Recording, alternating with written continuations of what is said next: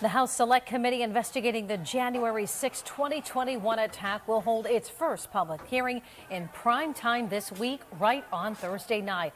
It will be carried on all the TV networks starting at 8 o'clock p.m., except Fox News, which has opted to carry it on their business network.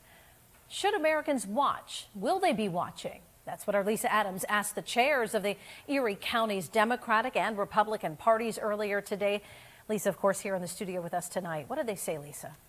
Good evening again, Eva. Some pundits want to compare this to the Watergate hearings when everybody stopped what they were doing and watched TV for days. Today, though, with many more viewing options, will Americans weary of divided politics watch, or do they want to put January 6th behind them?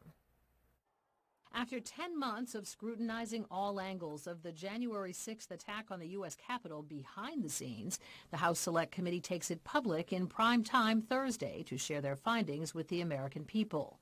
Erie County Democratic Party Chair Jim Wertz thinks people should and will be watching. I think the people who are going to be most interested in seeing uh, what this uh, committee has to uh, to unveil are going to be those Republicans that voted for Joe Biden because they were concerned about what another Trump term would mean to the future of this country. But will there be new evidence proving former President Donald Trump had a direct role in igniting a conspiracy that fueled the violence, or will it be a rehash of what criminal investigators already found? They worked over the uh, video uh, footage and cell phone records and everything else, and they, they found you know, the, uh, the culprits, the people with bad judgment. Erie County GOP Chair Verel Salmon believes the timing of the public hearing, some 500 days after the insurrection, is simply politics. It's uh, such political motivation behind this thing, whether it's uh, get Trump or just, you know, come, take advantage of free airtime.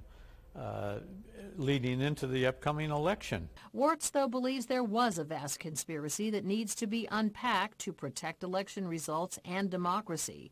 But admittedly, he is looking past Thursday to the ballot box. Every person who filed a, a lawsuit to try to overturn the election or signed on to those lawsuits needs to be held accountable. Uh, and uh, if it's not going to be done uh, with legal action, hopefully the, the voters will do it at the ballot box.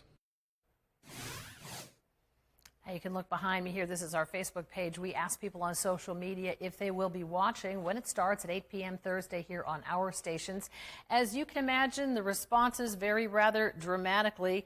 Some people saying they are imagining that will be very skewed because it is in the middle of the midterms here. Some saying absolutely not watching. It was not an insurrection. Some pretty caustic exchanges between some folks with different opinions than that, though. You can add your thoughts on our Facebook page, our Erie News Now Facebook page. Live in the studio, Lisa Lisa Adams, Erie News Now.